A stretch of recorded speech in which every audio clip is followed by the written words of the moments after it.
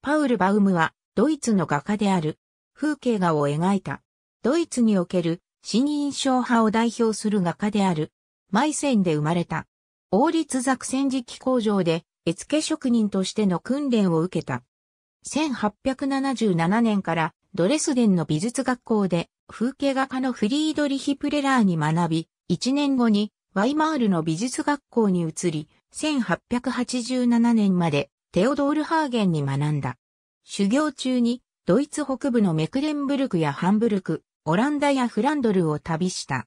1888年には多くの芸術家の集まっていたミュンヘンのアラッハ・ウンターメンツィングに滞在し、シュトレメルやバンツアーと活動した。1890年にパリに出て印象派の画家たちの作品と出会い、ベルギーのクノックで4年間過ごし、カミリユ・ピサロやベルギーの天描技法の画家テオファン・レーセルベルヘと知り合い、影響を受けた。1894年にドレスデンに戻り、分離派のメンバーになった。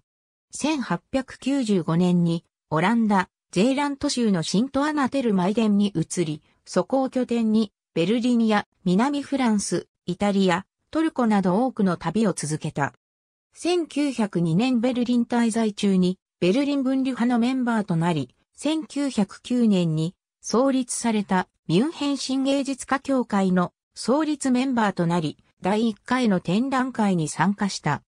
1909年にドイツ画家協会のビラロマーナプライズを受賞し、1年間のローマ留学の奨学金を得、イタリアに4年間滞在し、トスカーナのサンジミニャーノやフィレンツェなどに滞在した。